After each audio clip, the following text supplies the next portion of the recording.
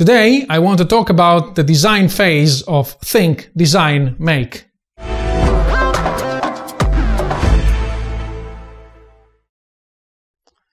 In my career as a designer, one of the painful things to do is to design threads. And that's why in mechanical design, threads have never been uh, designed uh, effectively, but just with uh, sketch lines that uh, idealize the design of threads. So um, this is of course not a viable option for 3D printing because in 3D printing you have to actually create the helix of the of the thread, so you cannot just uh, sketch it with two parallel lines. That's why I needed to do this. You will probably fail or have a difficulty to see the small thread in this part, which is 3D printed. Uh, I'm going to go a bit uh, through that in a minute. So if you are curious on how to design threads with uh, Fusion 360, you've come to the right place. So here you see the part we want to model with Fusion 360. I have already modeled it. It has an outer and an inner thread. Um, I'm going to discuss a bit uh, what this part is about because it is, uh, of course, for my 3D printer. So let's go back to the start. So if you're not familiar with uh, Fusion 360, you have the history bar here on the bottom. So I'm going to scroll all the way down to the beginning. So beginning is very simple. It's just the pipe and that's how we want to make the thread. This is how you make the thread, so pretty simple though. So let us look into the edit feature, so how this is being built.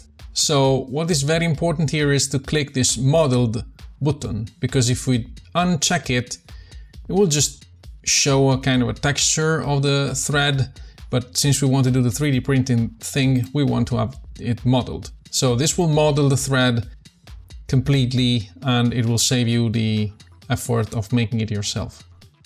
You can choose between uh, a lot of different uh, thread specifications and sizes. The size will be automatically picked from the cylinder diameter and then you can decide the pitch, the class of surface and the direction if it's a right or a left hand. And if it's a full length thread or if you want to do it different uh, thread length.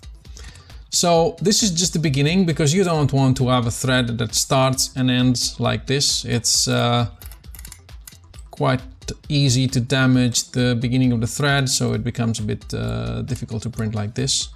So that's why we go and we create this chamfer. You cannot just chamfer with the chamfer tool here, so you cannot use this.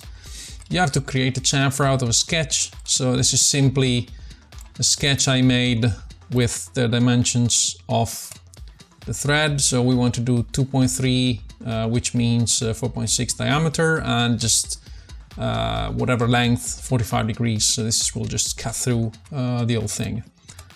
So here we go. And then we revolve it and this is how it looks like in real life. So you see that there is a nice chamfer here on the thread that will make um, uh, assembling your part much easier than just uh, beginning with the blade. Which by the way will never printed, never be printed uh, perfectly. So I went on again with my design and uh, so I'm going to just fast forward through this. What I want to show you just is that I created a middle plane and then I mirrored the same chamfer so I didn't have to do it twice. Uh, one other nice feature of uh, um, of uh, Fusion 360 if you're uh, if you've ever used other CAD systems is that it allows you to move entire features just uh, move them like this. I used to use a lot of Creo and that's not a feature that is available in Creo. You have to change the parameters and have it move. You can just not just drag take it and drag it and drop it then let's go to the next part, which is a bit the interesting bit, um, because this is where I have applied uh, a few tricks connected to 3D printing. So hole, same thing as before, so you can uh, create a hole with a thread in it. So you just uh, go in here, select all your references, you put uh, the hole in the middle, and then you can decide you want a, a, a, a thread here, so you, you, choose it tapped, and you have the same menu, so you can decide uh, what kind of uh, uh, thread you want. Class is not really important because this is for uh, machine parts. Uh, we're not going to talk about hundreds of millimeter anyway.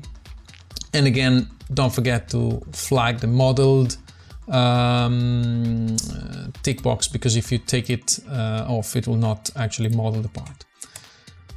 I went on and I made another chamfer. So you can see it here. It's just uh, then there is a bunch of other features. And this is where th things start getting interesting. So I have created another hole. And then if you go back here and just see what is the diameter of the uh, let's say of the thread heads it's 5.035 so that's the uh, let's say the, the, the, diameter of the smaller part of the thread 5.035 so that's where I have created another hole. And the hole here is actually 5.2 so I wanted to make it a bit larger. So that means it removes roughly 0.1 millimeters from each side. So this makes the thread a bit uh, smaller. And that's very useful because as much as you want to calibrate your 3D printer, that will never be calibrated enough to print correctly uh, parts which are a hundred of a millimeter. So you want to get this uh, a bit uh, um, wider so it doesn't get you crazy around that. So that's where I do the chamfers again. And this is the other part, which is quite interesting. And I'm going to go through uh, actually a cross section because that I think it's uh, easier to understand. So let me make it. Yeah, here it goes. So first of all, you will see what happens to the hole. So this is the original hole and this is the bigger hole. So you see that the, the top part here of the thread is being cut away. Pretty simple. Another very nice feature of Fusion 360 is the push-pull feature. So I said, okay, I got rid of the top here. I want to make sure also this um, this bottom part of the thread is also enlarged. So what I did is that I selected all three surfaces and I just used the push-pull feature and here it comes. So in this case, it's been pushed pushed down by 0.1 millimeter again. So what this does is that it simply just pushes away the um, all the features in a parallel way. So if you have to do this with uh, an helical sweep, it will drive you crazy. Well, this is just a click of the button.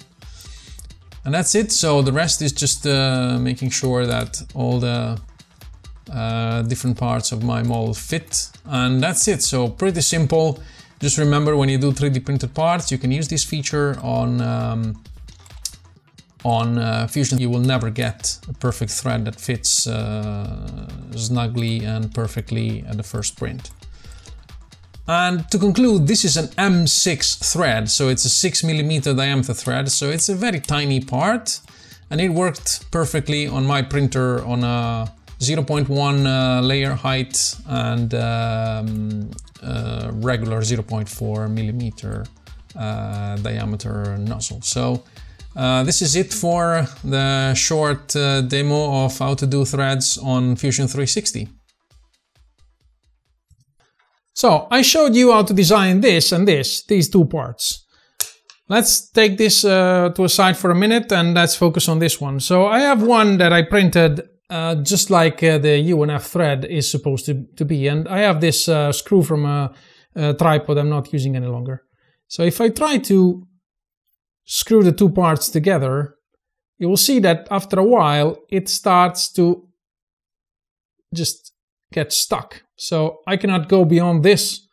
And that's probably because I have the chamfer that helps me and then uh, uh, the, the thread becomes just simply too narrow to manage. While this one instead is designed with the same technique that I showed you. And if I try to screw this one in, you will see how easily it goes in. So this is how I designed it and this is the result.